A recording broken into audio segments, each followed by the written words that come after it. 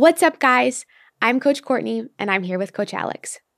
Are you tired of not being in control of your life? In today's episode, we talk about how that can change. Make sure to like, subscribe, share with a friend, and we'll catch you on the inside.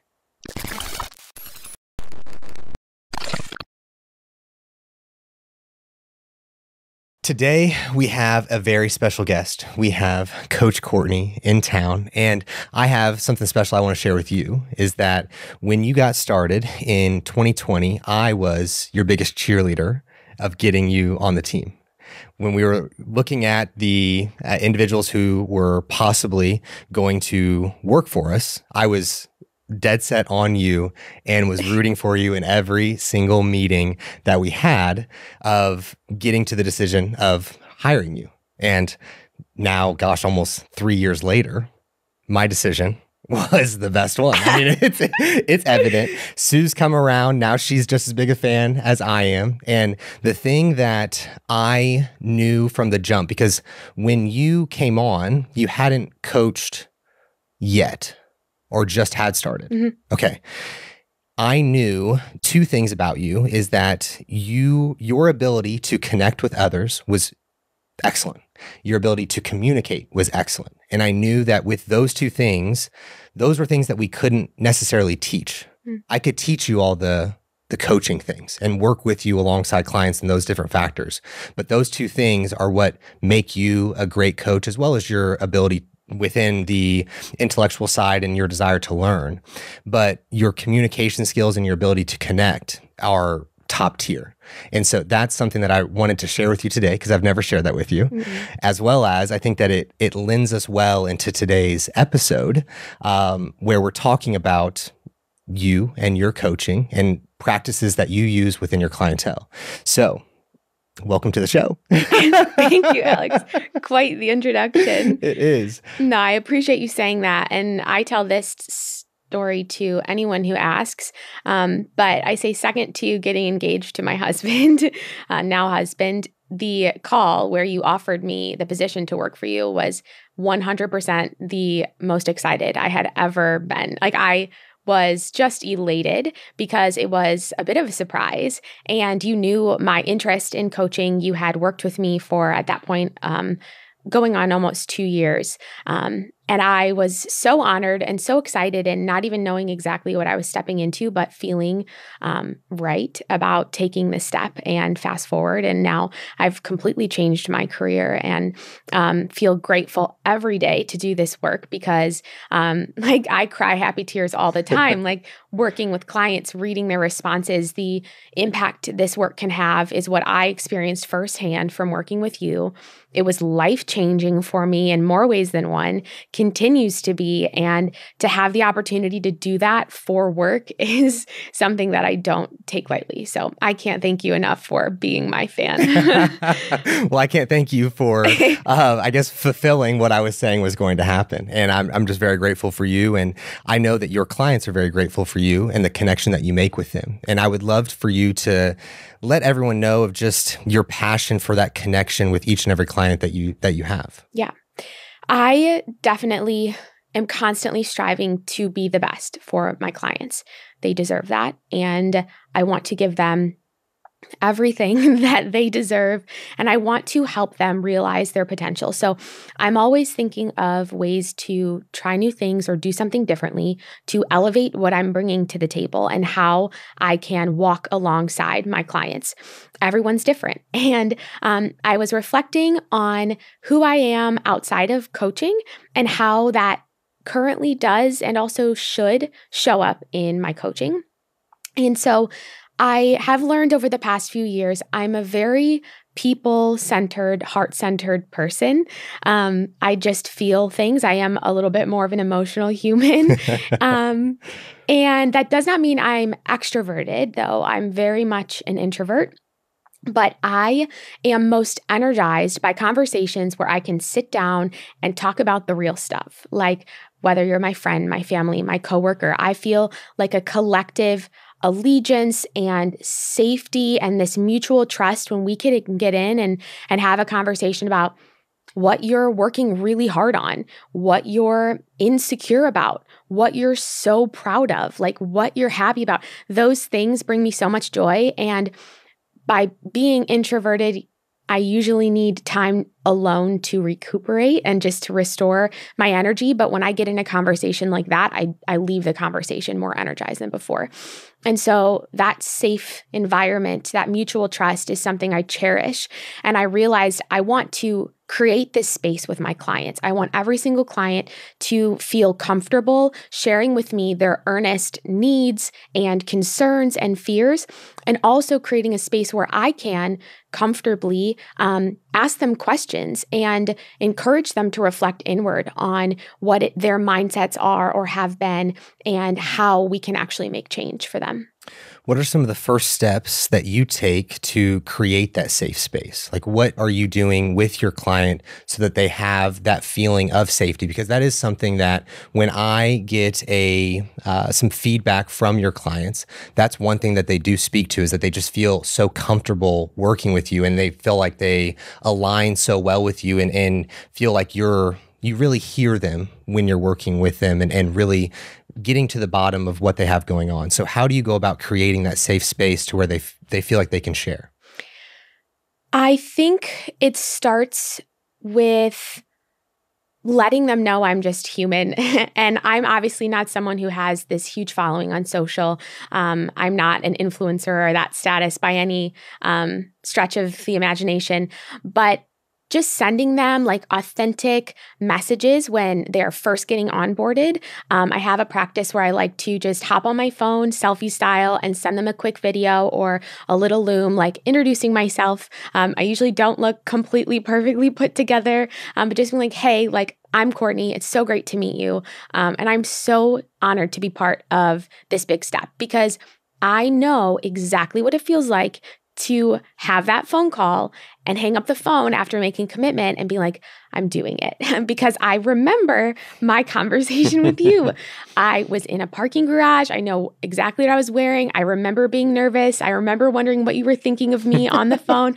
I remember being so prepared for that conversation and knowing what I wanted to share with you and my passion and my goals. So I empathize so easily with who and how those people, my new clients, are feeling when they come on. And I want them immediately to know. And I tell all of my clients in my first conversation with them hey, this is a relationship, this is not a dictatorship. Your honest feedback, whether that's you expressing a need, a concern, a fear. If I make a mistake, I'm going to, I'm only human. Like, call me out on those things. If you have an idea based off of an initial recommendation from for me, I want to hear that. I want to work together to put something in place that genuinely works for you. And so I just ask from the get go please be honest with me. Please know that I am only human. And let's build on this relationship together um, from this day forward. Excellent. I love that. And and I I love your passion for coaching because that is something we like we have in common because I love my job every single day being at a, a, place where I'm closing in on a year of doing it. I think that more often than not people find themselves in a situation that when they get to this point in in a career path they're getting a little bit burnt out or things of that nature. And I feel like my fire for coaching is just as strong as it was when I first started. And I feel as though that you carry that same passion. And so from a coaching standpoint, how would you outline things from a like what are we supposed to do? What are we meant to do when working alongside the client? Yeah, well, I love to hear that. And that's so evident in um, how hard you show up every single day. Um, I would say my love for my clients truly continues to deepen as I mature as a coach. But what that looks like is not me being um, nonchalant about their progress or passive or a pushover or anything like that. I would argue that my heart for my clients shows up as me holding high expectations for them and refusing to just give cookie cutter answers or protocols because that's not going to get them the autonomy they're seeking. And I think that it's our job as coaches to help people build the skills and the knowledge and the self awareness to be able to navigate not only their health and fitness, but their life at a more macro level through the sort of skills and ownership we help them take over their life.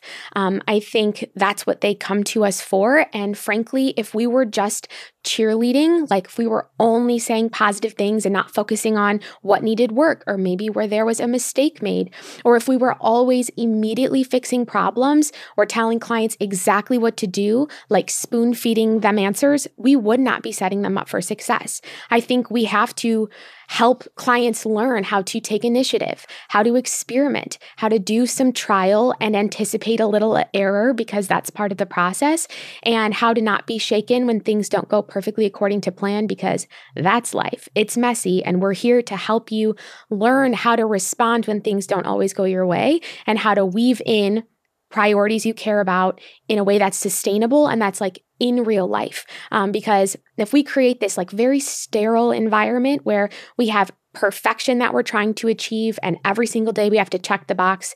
And if we don't we communicate that that's you know a failure and a lost week or a washed week.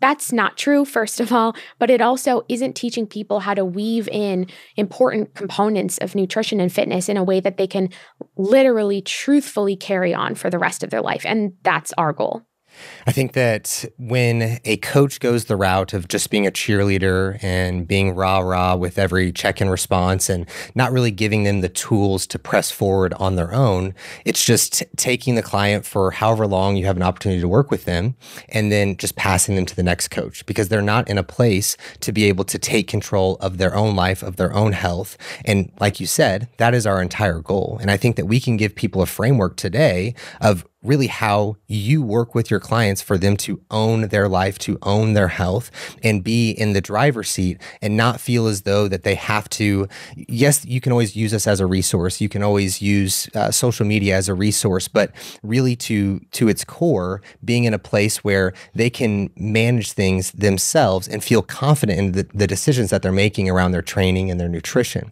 And that's a really powerful place to put the client. And that's, again, I, I'm, I'm just, I'm just hyping Kortney up this whole episode because I think that's something you do a great job of. So, with with today's episode and the main topic that I really want to get to is how you lead the client to get to that place of real leadership within their own life. Yeah. So, there is a quote that I love and I heard it pretty recently, but it really stuck with me, and it's by Jocko Willink. I believe that's how you pronounce his name. He's a retired US Navy SEAL officer, and his quote is Leaders must own everything in their world. There is no one else to blame. So basically, that um, communicates you have to take charge of your life, or the world will do it for you. The world will find a million ways to fill your time. I believe that. And um, I think that it happens to the best of us. Sometimes things in life happen that are outside of our control. We didn't see something coming, or we had no say in the matter. And if we're not careful, in the broader scope of life and even with health and fitness, we can fall into this place of pointing outside ourselves for the reason why we're unhappy or the reason why we feel stuck or dissatisfied with our work or our finances or our free time or our social life. And if we're always pointing outside ourselves, I think we forget to ask ourselves the question what can I do about this now? Because we always have a choice in how we respond to something to grow or learn from that experience. And so ultimately, I think becoming a little bit more proactive goes so far, not only in relation to nutrition or fitness goals, but in broader life the key is becoming more proactive. And so to me, there are like two steps that you can take if you're listening to this and you're like, that sounds great, Kortney, but I'm not sure how. Like I have a super demanding job and I have a family and and other things. Like I wear so many hats. How can I become proactive? I feel like I'm barely hanging on um, each day. so the first thing that um, I would suggest, and this is coming from personal experience actually, I um, ended up working with a dear friend of mine who I had as a leader in my corporate job um, before I made my career change. And she is pursuing her master's degree and doing um, like leadership coaching and organizational change. And she, for part of her curriculum, was working with individuals who were in leadership positions in various careers. So I had the privilege of working with her. And in our time together, one of the first tasks she gave me was to try and articulate like the ideal state of my life and my ideal version of myself. And she assigned me the task of creating a vision board, which I had heard of people doing, obviously, but just shrugged it off. And I always thought I had better things to do with my time. But when she gave me the task, I was actually so excited about it. And it ended up being powerful because I let my creativity roam free and to try and articulate verbally but also visually like what my ideal life would look like. I ended up going to like two separate influencers which i almost hate saying, but I, I don't think I should feel embarrassed for that because they're just people whose personalities I had been like intrigued by or felt energized by, and their lifestyle and certain components of what they prioritized and how they were showing up and how they were making an impact really attracted me. So I ended up pulling like visuals and things from their different content to create this little collage. And in doing this exercise, it helped me articulate like who I want to be. So, what my work week looks like, how I'm spending my Friday nights, how I'm spending my Saturday mornings, like, you know, the the way I want to look, the way I want to dress. Just it created some clarity where I had I hadn't any prior. And that was really powerful for me. And the other component that was really moving was my leader who was coaching me through this helped me realize that some components of this like ideal future state life that I had in mind didn't have to come later. Like I was waiting for other things to be settled or that's what I was telling myself, but that wasn't necessary. And so that was emotional for me to be able to realize like there's so much of this life that I can and should be devoting time toward now. So that's step one articulating what my real values are and how that shows up day to day in my life and how I want that to become part of my life um, in real time. So that's step one. Step two is to use some of that new insight and to make a plan, which may be confusing at first, but I will elaborate. Um, this is another practice I learned in corporate America. So if you're listening and you work in that space, you may roll your eyes for a second, but this helped me in the broader context of life versus just work. It's something called a 30, 60, 90 day plan. And I enjoyed this very much coming off of my vision board creation because I had some specific goals in mind. Um, and so when you're creating a 30, 60, 90 day plan, you create or you simplify the few categories that are your main priorities that you want to be moving the needle forward in. So when I did this, I had a more narrow scope and I was thinking about my job. And so I focused, for example, one of my categories was content creation. And so you take your categories, you name two or three, that's more than enough to focus on. And then you brain dump and you write down the specific actions you want to complete over the course of 30 days, like the next 30 days. Then maybe how you want to build on them in that second month, those 60 days, and then again in that third month, those 90 days. So it's a it's a thought exercise. It might get a little little messy before it gets clean. You might need a couple drafts, but it was really powerful for me because, again, I took some things that were a bit vague um, and a little more lofty in my mind and first articulated them in my vision board and then took them even more deep to figure out what is the action I can take on a daily or weekly basis immediately to help me start moving toward that goal. And so, um, to give one example, I had said in the scope of my job here, one of my priorities was content creation. So in my 30 day bucket, I had written post two to three times and improve my editing skills. And so it was specific and measurable and something I thought was realistic to work toward um, with everything else going on. And then I expanded on that and built it out to three or four times for that 60 day time frame, etc. So I think you get the point. But doing this can be really clarifying as well. And then it's no matter um, a question of like, will I hit my goal? It's just a matter of, will I do what I say I'm going to do? Like, will I live with integrity to my goals? Because it's just a matter of waking up and doing the thing. And I will say the last point is, this is meant to be a working document because you're going to have a plan. And I bet you millions of dollars that you're not going to be able to achieve your initial draft and that some things are going to need to be edited. So, like, get back in there, move things around. That's the beauty of it. And you can continue to do it every three, six, nine months to help you keep moving forward with intention. I think the main thing to really take from what you just said is that in order to achieve anything, you just can't move aimlessly.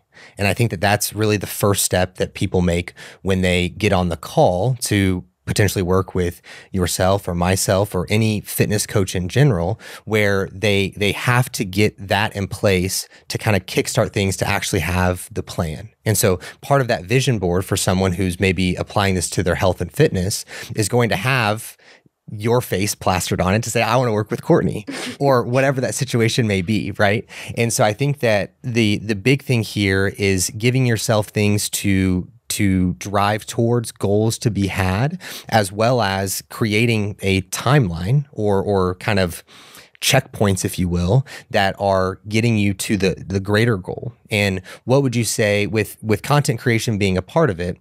What was on the vision board that was in alignment with that 30, 60, 90 day plan? Like what was the bigger goal? That's a good question. So nothing specifically tied to my goal of improving my content creation, but both of the people who I was drawing inspiration from have a certain presence online and to me, I wanted to, I knew that practice would get me to that place. So, to be more specific, both of these women show up, I think, very authentically, um, and they have just like a joyful spirit. And it doesn't seem like they're trying too hard to be something that they're not. And they are playful and they're colorful. And I, I know who I am, and I know how different it is to try and show up on social to be a, an authority and like, you know, educate. Um, we all have like an Instagram voice. And so part of something I'm working on is wanting to find that true, authentic voice of who I am and like my kind of goofy um, self, but also while communicating efficiently the info that I want in an engaging way because the goal is to help more people learn and to help more people um, expand their knowledge and to hopefully come to me as a resource um, so that they can take steps to become more in control. Are you wanting to hire the last coach you will ever need? Well, look no further. Physique Development is here to help you. We have a huge emphasis on knowledge and communication and making sure you know how to get yourself in the best position so you never have to hire another coach again. If this sounds great to you, then go ahead and fill out the inquiry link in the show notes or the description box, and we would love to get on a call with you. When it comes to setting the goals, what are some of the parameters that you put into place when you're talking to your clients to ensure that it is the most efficient and effective way to reach the goals that they have? That's such an important question. And one of the first things I tell clients is that it's very important to know that your goals will probably evolve and change over time. And setting that realistic expectation is critical. One of the easiest ways to feel discouraged or to set yourself up for um, being dissatisfied with your progress is not having a realistic expectation. And so when it comes to being more realistic about the time frame and how much progress will be achieved over what span of time, it's really important to remember that most big goals, big goals take years to complete. So, yes, when it comes to fitness, we see this day in and day out, and we preach this in a lot of content. To get to some big, dramatic physique change, it's going to take days, weeks, months, years of dedicated effort of doing what you may think is boring or the mundane work. Um, you may get frustrated. You may feel less motivated someday. But most of the people that you deem successful, that I deem successful nowadays, have spent so many years with their nose to the ground doing the work day in and out, even if it's a bit mundane, even if it's a bit ordinary. And so when you have a big goal in mind, go in knowing that every day matters and that you can move the needle a little bit every single day, but that it's not going to happen overnight and nothing dramatic will happen in a year's time for most people. More than likely, it'll be three, four, five years. So, would you say, what are some of the unrealistic goals that your clients come to you saying like I want to do this in this amount of time and then what are some of the more realistic goals that you provide them of like hey this is probably in better pursuit for. So give us some examples. You can kind of go into the the client like the um, attributes of them mother of two who works a full-time job giving kind of a little bit of a background to go alongside it because that matters right Of course. so give us a two or three examples i suppose Sure. So one's coming to mind. Um, I have a client who had, and she is not unique in this experience. She had been wanting to lose body fat, reduce weight, reduce body fat percentage for many years. And she is in her early 30s. And she had tried so many different diets, like the name diets, the name brand Weight Watchers, Jenny Craig, who knows what, um, juice cleanses, detoxes, eating extremely low calorie, you know, 800 calories a day, things like that. And was just the epitome of like the yo yo dieter. Um, and of course, felt horrible through the process and would maybe see some results, but was at a point when she came to me where she was, you know, near the heaviest she'd been, feeling so frustrated, sleeping terribly, having irregular digestion. Her skin was breaking out, you know, having severe premenstrual syndromes, just like not feeling good. And her body clearly wasn't happy. And she came to me being like, I want to lose 20 pounds as soon as possible. And she's a perfect example of someone who I had to explain this the, the reality is your body is not going to be responsive to an energy deficit immediately. There is so much variation in your day-to-day routine and how you're nourishing your body and how you're resting and how you're recovering and how you're training that if we were to enter an energy deficit, it's very unlikely that you would feel good first of all and that you would actually see, you know, positive trends on the scale. What we have to do first is spend what I like to call the primer phase, um, this period of time. And in her situation, it needed to be probably 12 to 24 weeks of really establishing better habits and bringing stress down from her body, increasing food, understanding what her true calorie maintenance was, and then getting consistent at that intake instead of this huge, you know, overeating some days, undereating many others increasing sleep and staying consistent with that, finding ways to mitigate life stress, and finding ways to move that were not, you know, stress inducing um, to give her body the time to reset. And so um, I had to be frank with her and say, we are not even going to touch the attempt at a, an energy deficit, a calorie deficit, a dieting phase until we have awesome consistency where I'm seeing with your data and with your adherence to plan, um, positive changes in your um, habits. Now, the cool thing is you're going to feel better immediately as we start making these changes. And this scale may actually drop because we may lower inflammation. You may be eating well above your maintenance, even though some days you well overeat and some days you or you overeat and undereat. Um, so establishing this consistency and every um, sense of the word is going to make your body a lot happier internally. You're probably going to start seeing positive changes. Clothes may fit a little different. Your skin may clear up. You won't feel as bloated. You won't have stomach pain. Your energy will improve. Your sleep will improve. Your strength will improve. Things will be better almost immediately. And it will then feel right when the time comes to consider a dieting phase um, because we'll know your body is likely more responsive. I know that was just one example, but I feel like I gave great detail. It's, a good one. I, I think that shifting the focus away from the scale and it being something that's much more habit driven and about their entire life is the best move possible for that person because everything that she had done previously was just centered around losing this amount of weight and using this technique for this period of time and you're going to lose all the body fat that you ever had type mentality. And you were able to shift her out of that to the thing that actually matters significantly more within her overall health and mm-hmm. longevity of her maintaining that health. And so it was perfect yeah, it's a, it's a great example. And so, uh, what was the, so that was the example in which uh, it was too lofty and we pivoted. hmm Um, I guess you also provided the other example because it was like you gave the alternative. Right. Do you have another one that would be because I've got some with with my clients that um, I've got a handful of examples that come to mind, but do you have another one that would be different from weight loss, but maybe something I don't know, anything else? Um, yes, I will share one more. And then I would love to hear one or two of your examples. I had a client earlier um, in 2022 who had Crohn's. And she was someone who was well versed when it came to weight training and nutrition. And she was a coach herself, actually, like quite well versed.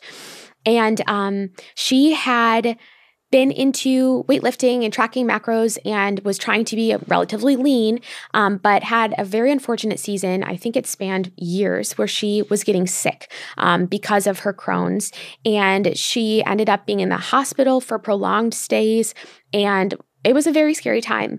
And so she came to me after this and she had been out of the hospital and she was like, Look, Kortney, I just want to stay healthy and I want to improve my physique. I want to be able to build some muscle. Um, but just, you know, she knew that true muscle growth takes six, 12 plus months of being in a dedicated maintenance or surplus.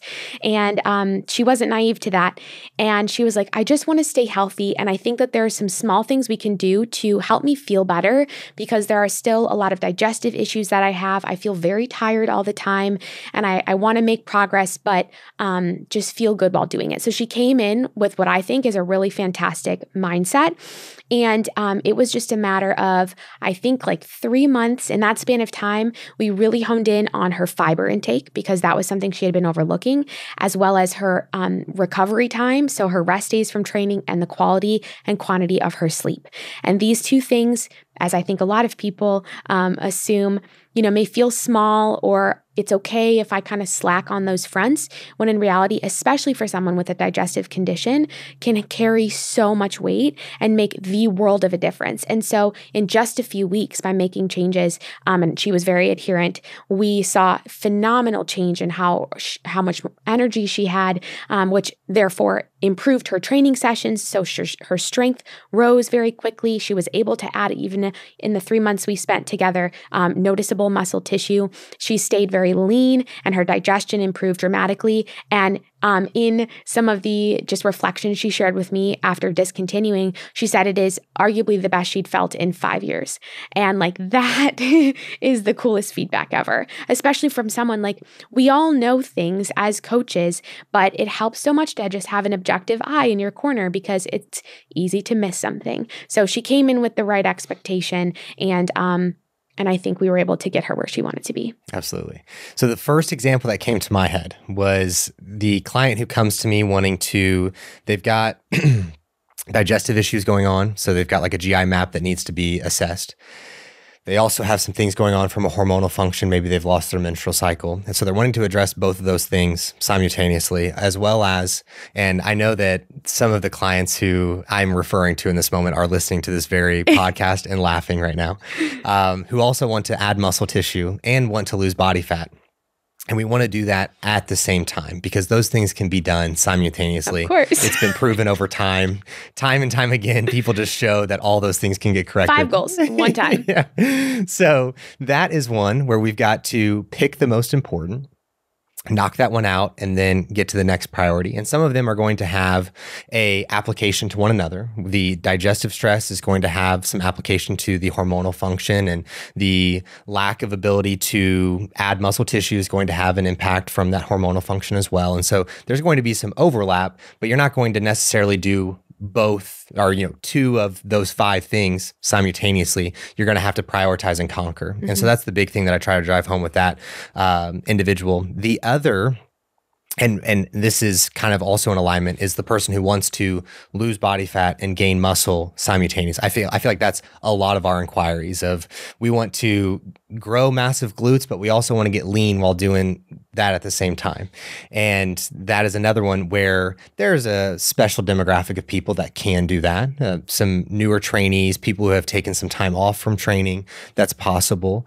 But for the vast majority of people, we've got to pick one and, and decide to uh, get after it because if you go the route of maybe having an intake that's a little bit below maintenance to try and have the fat loss, but also have near enough calories to make muscle gain happen. It's going to be very slow, but you're going to be getting kind of like a 50% of what you could get or 40% of what you could get for both. Whereas if you just had a specific goal, you could be getting 100% of the one thing that we're trying to do and then pivot out of that and get 100% of the other thing. And so having that conversation, I think the biggest thing when we have expectations out of alignment for goals is just having that conversation, not shooting down the goals themselves, but having the conversation as to why the the goal that they have is not necessarily attainable in the time frame that they want or in the fashion that they desire.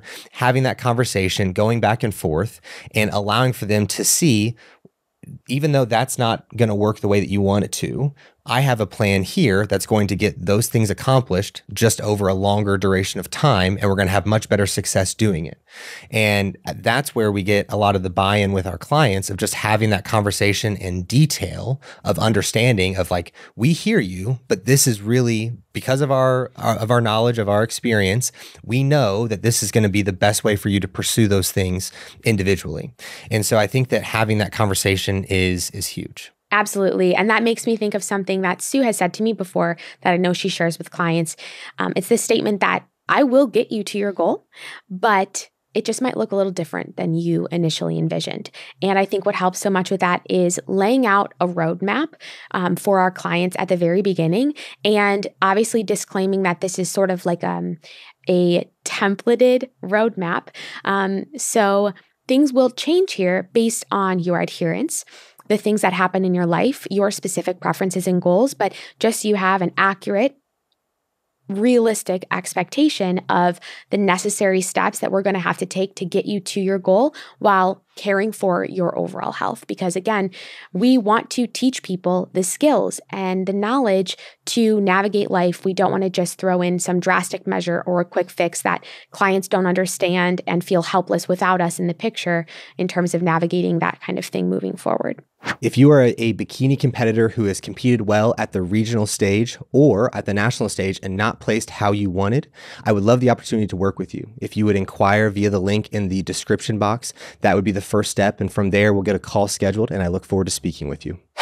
Let's let's hone in on expectations. So when we're when we're creating the goal, what is your what is your thought process as you're you're framing this for the client? Like how are you going about this to maybe what are you taking into consideration and then how are you aligning to um, like super realistic semi realistic but not as realistic as the other option how are you kind of going through that well of course we have to take into consideration the stressors in that client's life and the hats that they wear some a lot of my clients specifically are um, single or not married. And so they are focused on their career.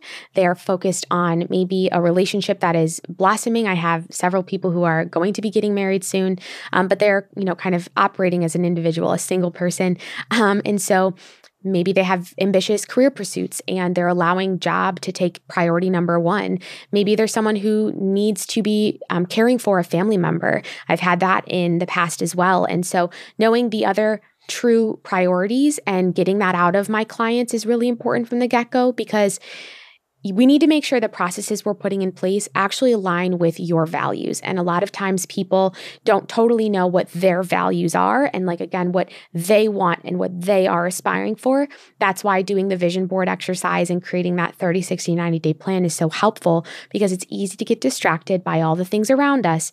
So, articulating what I really care about and in this immediate season, this month, slash this quarter, what are the few things I'm going to intentionally, consistently keep up here and show up for, you know, as often as I can, even if it's not perfect. So understanding each client's main values and having conversations with them is important because then if they have a week where work got crazy and they had late nights and early mornings and they missed some training sessions or they weren't able to adhere as closely to their nutrition goals, then it's just a simple acknowledgement of, hey, you told me from day one your job is going to be the number one priority and that your fitness and coaching is going to be number two. And of course, that's still very high and we're going to make phenomenal progress.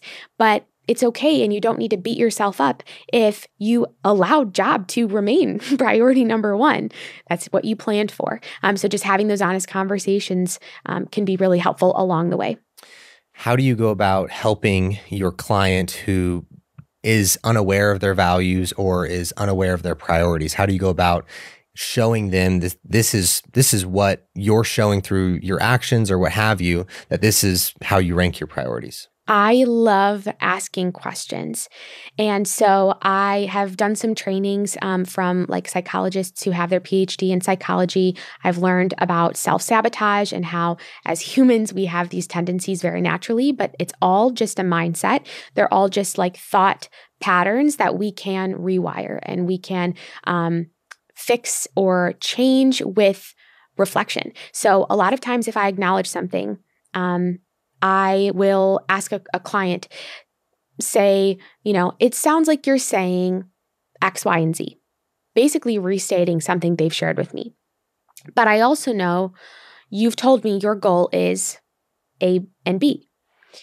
When you think about these things together, how is X inhibiting your goal of A? and um, the next time you're in this situation, how might you choose to act differently? And so I always tell my clients nothing is a failure if you learn from it. In fact, I think failure, I know this is a bit of a cliche, but failure helps you gain because when you fail something, you you realize fail at something, you realize an opportunity area. So to me, failure is clarity. I also think failure keeps us humble. So um, if you hit a place where there's a mistake made or um, a bump in the road, take it in stride. Don't feel shame. Don't dwell on that. Just acknowledge what you've learned and how you're going to choose to act differently based on, you know, your priorities. So just pausing, stepping back, kind of objectively viewing the situation and then realigning yourself with, well, I do want this to be my priority. So if this happens again, how can I make that visible? How can I bring that to life? I like that. I think that one thing that I try to do when we're trying to identify the priorities for a client or, or trying to really get in alignment so that their expectation is is matching their effort.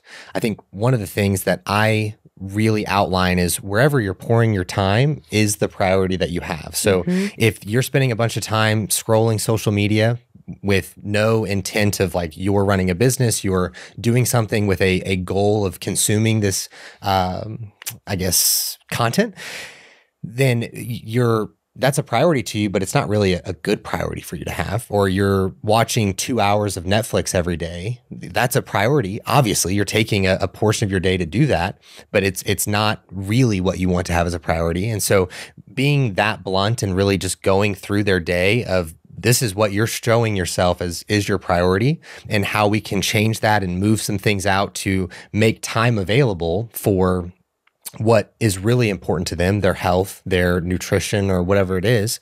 Because i was i just recently had a uh, an inquiring client who was saying like the allotment of time for for her cardio and for her training was just not possible. And so this is not even someone who's paying me to do this which is you know another conversation to be had. But going through that with her of just pulling out and then plugging things back in and being like, yo, you do have the time. It's literally just a matter of you actually doing what you're saying you're doing rather than just telling everyone that you you're trying to do this thing when you're in reality not actually doing it.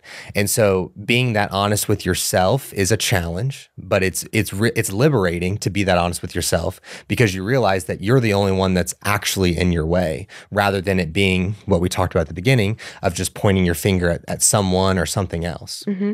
I think that reminds me of something that we've talked a lot about as a coaching staff of um, doing like time audits. So you wouldn't believe how fascinating and enlightening it will be to time yourself doing tasks each day and um, to truly take audit of exactly how long you spent doing each task as little as getting ready in the morning to doing a certain type of work to making a meal to eating a meal to cleaning up from a meal um, it can really show you where your time is being spent and help you reallocate towards the things that matter most. The time study for me was uh, eye opening. it really showed me because so I use a uh, a notebook and I track my hours when I'm working, but I kind of cheat like when when I when I say I'm cheating is that I will start the clock and then I'll go to the bathroom and I'll pause it.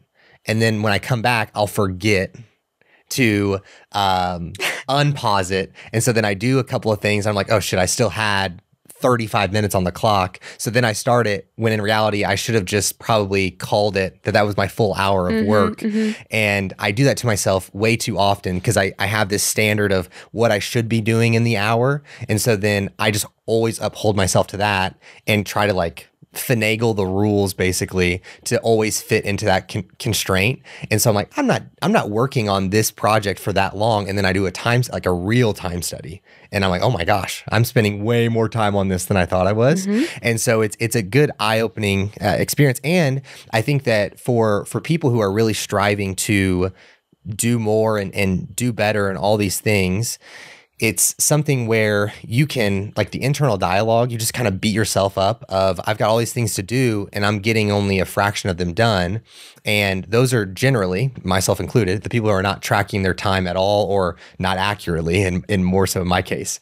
And so the time study is liberating in that way where it makes things very honest of oh well there's a reason i'm not getting this all done it's because I don't have the time to do so. I've got to either get more efficient with the things that I am doing, or I need to shrink the list of things that I plan to do. Yes. And so that is a a huge help. And I think that this whole gosh, this whole episode is going to be such a help for everybody. And I think we're going to get so much out of it. Do you have any closing statements, um, things that you would like to still share with the audience?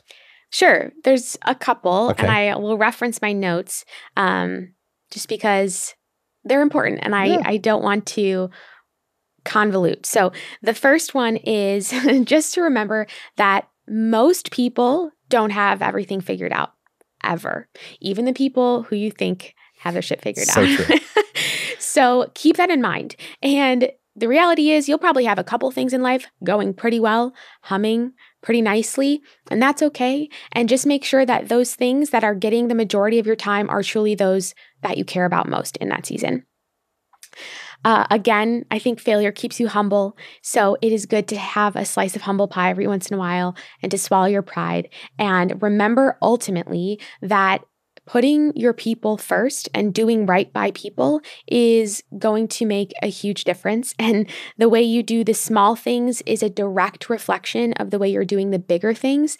And I think all of those play a role in you know the sh- they shape the person you're becoming and the footprint you leave behind so don't feel rushed or put unnecessary pressure on yourself um, or try to be someone you're not um, just try to focus on doing the work that you care most about well giving it your best each day, which doesn't mean it has to be perfect.